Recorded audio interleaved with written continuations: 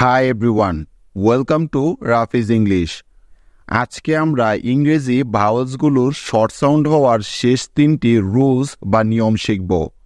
এই রুলসগুলো যদি আপনি একবার শিখে নিতে পারেন, তাহলে আর কখনোই ভাওয়েলসের শর্ট সাউন্ড এবং লং সাউন্ড কোথায় হবে সেটা নিয়ে আর কোনো সমস্যাই হবে না। আমি আপনাকে গ্যারান্টি দিয়ে বলতে পারি ইউটিউবে আপনি এমন আর একটি ভিডিও খুঁজে পাবেন না। যেখানে এভাবে প্রত্যেকটি শর্ট সাউন্ডের রুলস ক্লিয়ারভাবে দেওয়া আছে।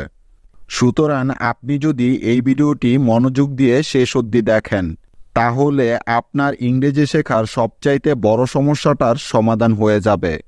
কারণ ভাওয়েল সাউন্ডই হল ইংরেজি ভাষা শেখার জন্য সবচাইতে জটিল এবং গুরুত্বপূর্ণ বিষয়। তাহলে চলুন এখন ভাওয়েলের শর্ট সাউন্ড হওয়ার পঞ্চম রুলটি শিখে নেওয়া যাক।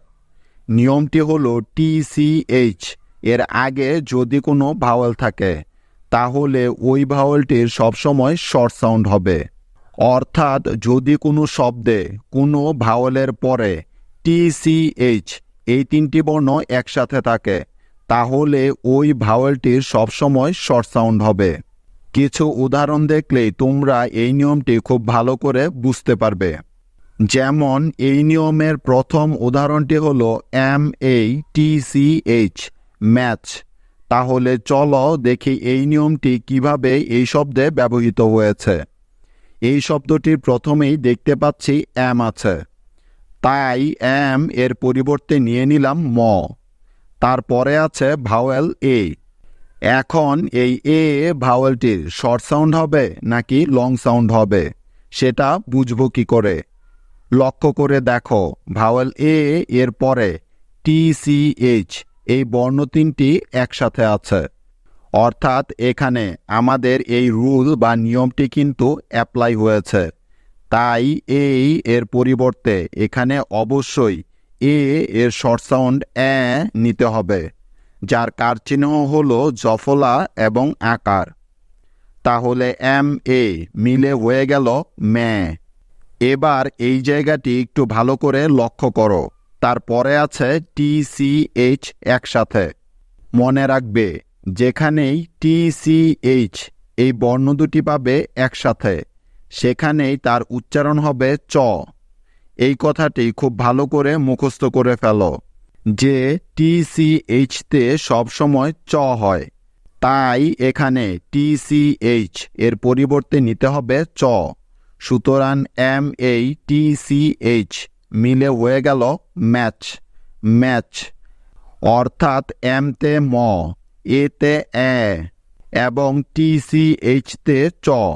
ব্যাস, এভাবেই এম এই টি সি এইচ একসাথে মিলে হয়ে গেল ম্যাচ ম্যাচ। ম্যাচ অর্থ হল মিল বা প্রতিদ্বন্দ্বিতা। আশা করি তোমরা এই উদাহরণটি খুব ভালো করে বুঝতে পেরেছ। তাহলে চলো পরবর্তী উদাহরণটি দেখে নেওয়া যাক। নেক্সট উদাহরণ হল F E T C H fetch fetch তো দেখো, এই শব্দটির প্রথমে আছে এফ তাই এফ এর পরিবর্তে নিয়ে নিলাম ফ। এবার তারপরে আছে ভাওয়েল ই এখন তোমরা কেউ বলতে পারবে যে এখানে ভাওয়েল ই এর শর্ট সাউন্ড হবে নাকি লং সাউন্ড হবে? হ্যাঁ এখানে অবশ্যই ভাওয়েল ই এর শর্ট সাউন্ড হবে। কারণ একটু আগেই আমরা শিখেছি যে কোনো ভাওয়েলের পরে যদি টি সি এইচ এই বর্ণ তিনটি একসাথে থাকে, তাহলে তার আগের ভাওয়েলটির সবসময় শর্ট সাউন্ড হয়, তাই না? সেজন্য ই এর পরিবর্তে এখানে অবশ্যই ই এর শর্ট সাউন্ড একার নিতে হবে। যেহেতু ভাওয়েল ই এর পরে টি সি এইচ আছে একসাথে, তাই। সুতরাং এফ ই মিলে হয়ে গেল ফে এখন বাকি রইল টি সি এইচ যার পরিবর্তে অবশ্যই নিতে হবে চ। কেননা টি সি এইচ এই বর্ণ তিনটি মিলে সবসময় চ সাউন্ড দিয়ে থাকে। তাহলে F E T C H একত্রে মিলে হয়ে গেল ফেচ ফেচ অর্থাৎ এফতে ফ ইতে একার এবং টি সি এইচতে চ। ব্যাস, এভাবেই এফ ই টি সি এইচতে হয়ে গেল ফেচ ফেচ অর্থ হল আনা বা আনায়ন করা।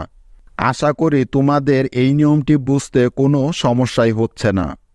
মুভিং অন নেক্সট এক্সাম্পলটি হল D I T C H ditch ditch তো দেখো, এই শব্দটির শুরুতেই আমরা পেয়ে গেছি ডি তাই ডি এর পরিবর্তে নিয়ে নিলাম ড।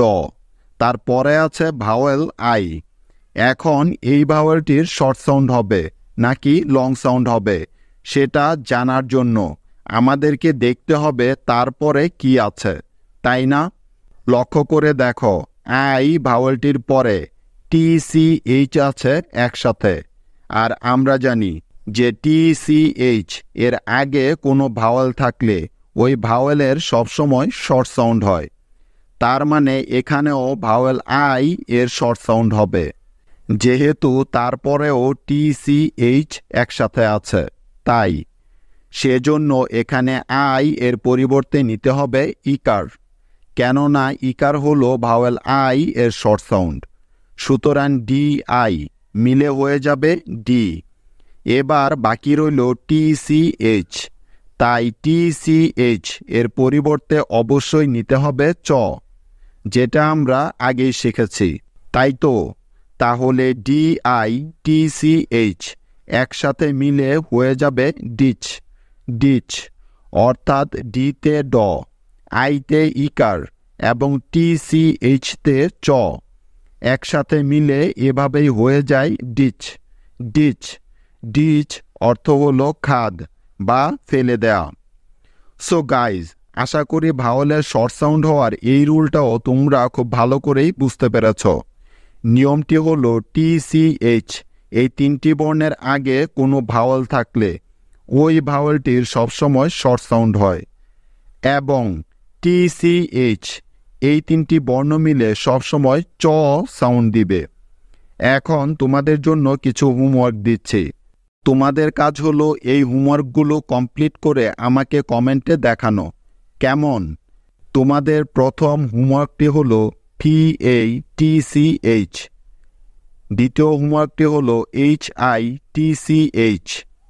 Next হোমওয়ার্কটি হলো N E T C H